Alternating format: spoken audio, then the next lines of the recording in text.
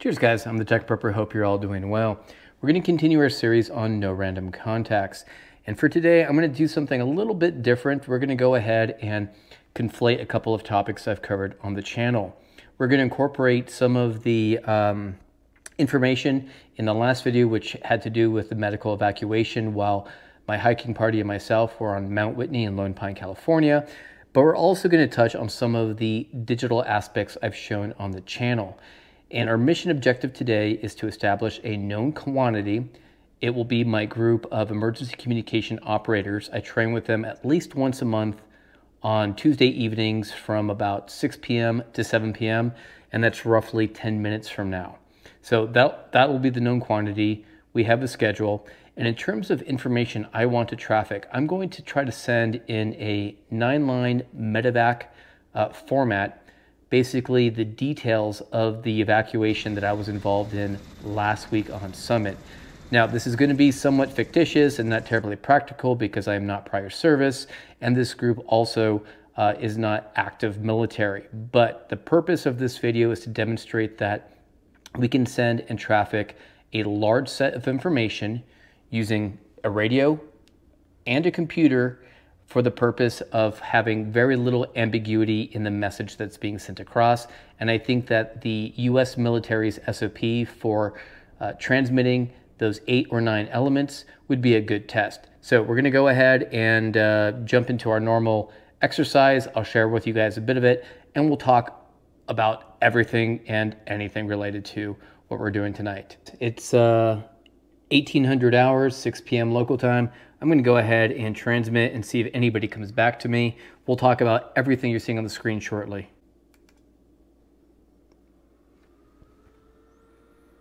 This is going to be a fun test. We'll see what happens. No one is expecting this payload.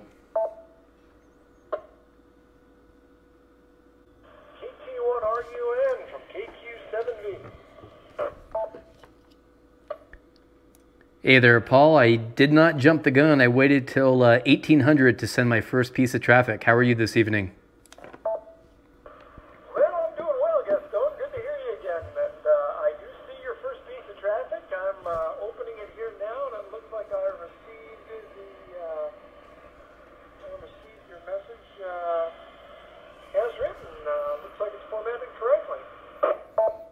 All right, before we jump into our after action report, I have to give a huge shout out to Contingency Medical for sponsoring this episode of the Tech Prepper, so there won't be any annoying YouTube ads.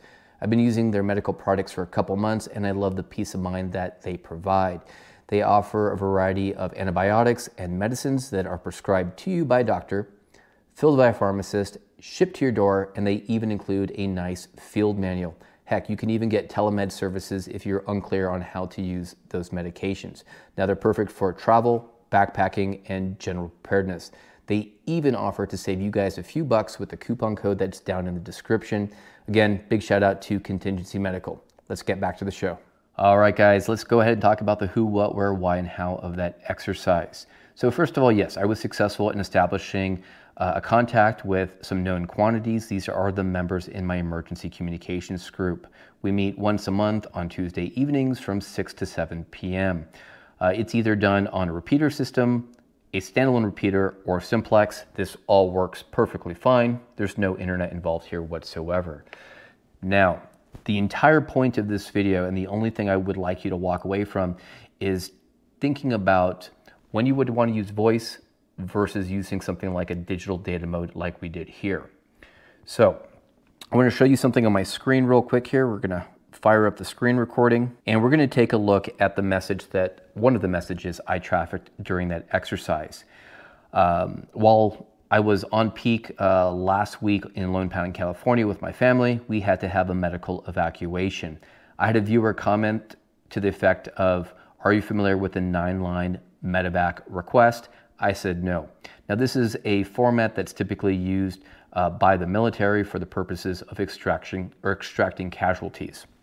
But I thought it would be a good demonstration of uh, a scenario where you have a lot of data that needs to be communicated from one party to one or more parties, and the communication has to be received and fully acknowledged with 100% accuracy because we're dealing with latitude and longitudes of the location.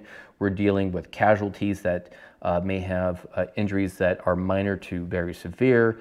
There may be requests for different types of equipment. So I don't want to get into the nine line medevac itself. I'm not an expert there, but what I do want to make the point is there's a lot of information that needs to be trafficked. So for example, let's go ahead and say that I want to traffic part of this to another party. Uh, I'm not going to read everything. I'll read a, a couple lines here. So I'll key up. Be advised, this is a test, not an emergency. Figures 3, 6, decimal, 5, 6, 3, 7, 4, 1, 7, 9, 0, 5, 3, 5, 2, 4, comma. And on and on we can go.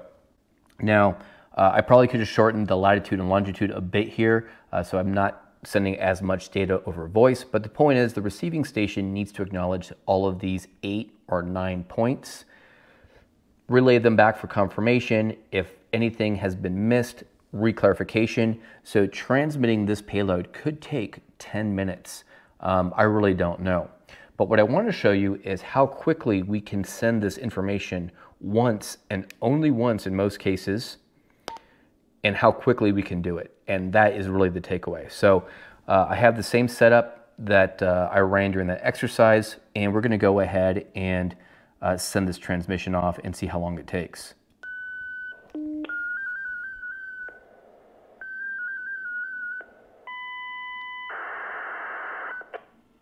All right, so we're about eight seconds transmission. So at this point now, the uh, five other parties, let's go ahead and turn this off at this point, the uh, five other parties or four other parties in my group uh, were able to fully copy and acknowledge full receipt. So they had uh, my location, they had the reporting party, which was myself, the frequency that I was monitoring so they can get a hold of me, how many casualties, what severity, the nature of the environment, and we are done. So I don't want to bog you down with all the specifics of what we've done here. We'll touch on it slightly because I've done videos on this in the past. Point is, take a look at embracing digital data modes as part of your communications plan and the training you do with your group. We have found it very valuable for the purposes of sending lots of data very quickly and efficiently without any fills or repeats. All right, so let's talk about how this was done. I actually have a number of videos that describe how this is done in detail. I'll put a link to my NBEMS uh, videos down in the description. Uh, but at a high level, it stands for Narrow Bandwidth Emergency Messaging Software. And I used two pieces of software from that suite in this demonstration. The first was FL Digi, and the other one was FL Message. Now, in terms of interfacing this with the radio, I'm actually using the uh, DigiRig with a USB interface into my computer.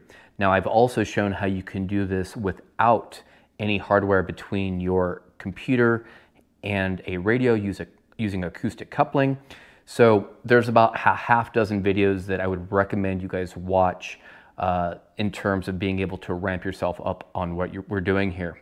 Now we also used my uh, TTP Manpack. I am running the Yaesu FT 8900. I absolutely love this rig for VHF, UHF work because it is a dual VFO rig. So I'm able to transmit digitally and receive digitally on one side of the radio. And uh, I can also do voice uh, on top of that as well, but I could also monitor another frequency uh, for voice, for example, on the other side. So not a whole lot in terms of uh, equipment. Well, I guess there's a whole lot. There's a radio, a digital interface, a computer, and some software. But what you get with that is the ability to be a very efficient communicator. And honestly, that's the whole point of radio. If you're not going to be trafficking something that's worth receiving, what's the point? a couple of other things, let's talk about some use cases, and I believe there are three. So my group uh, really is focused on two.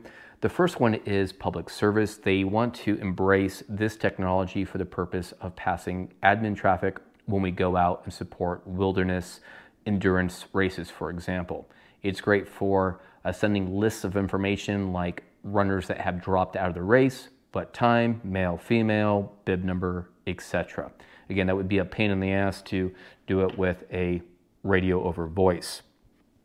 The other one is if our uh, group gets activated for an emergency, let's say that uh, there's significant flooding in Maricopa County. This is a great way of trafficking information. Uh, for example, who's coming into a shelter, maybe at the local high school, a list of equipment requirement. And again, it cuts down a lot on the back and forth that normally would be experienced with voice.